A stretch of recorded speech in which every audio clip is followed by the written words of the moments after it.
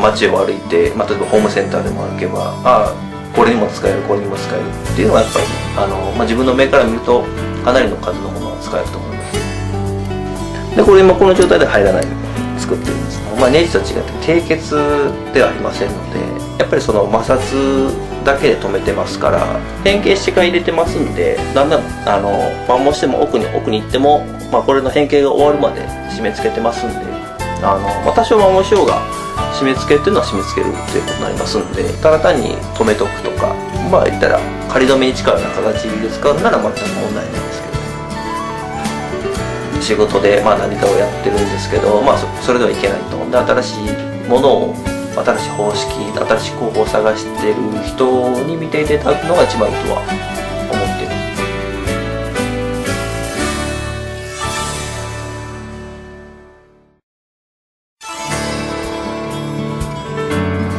本来はこれがこれが元やね。元でどう違うかっていうと横に動かす時は加工物が小さい場合はゼロ規定を決めんと加工ができないから位置合わせてから下を締めてから前後を合わせて締める。そうするとこんでこんでセットできるんですけどそれが発案したこれは順番に締まるので調整も楽にできる2箇所でなくて1箇所で上の一番手の回しやすいスペースがあるとこで締めることによって作業が楽である。結局儲けがこの12目の時間に食われてる。1個作っても2個作っても2個目はあのそのセットを使ってやるから1.5倍でするけど料金は同じぐらいもらえる。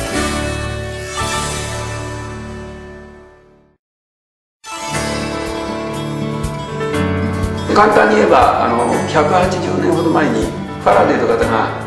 このモーターの原理作られてるんですよ。で当時は、えー、乾電池もそれから強力な磁石もありませんでした。で現代は非常に強力なこのネオジム磁石とかそれが乾電池がありますからそれで再現したらどんなものができるかという形になりました。そこでちょっと見てたらこう回転し始めると遠心力で振り回されるんですね。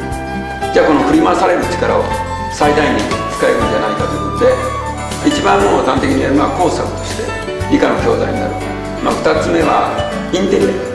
でさらにブライダルで例えばこれハート型してます。例えば新郎新婦のフィギュアを置いとけばそしてあの看板になりますね。看板。もう少し大きめにしてはい。そうすとくるくる回ってますから鳥が上がった人がちょっとやっぱり。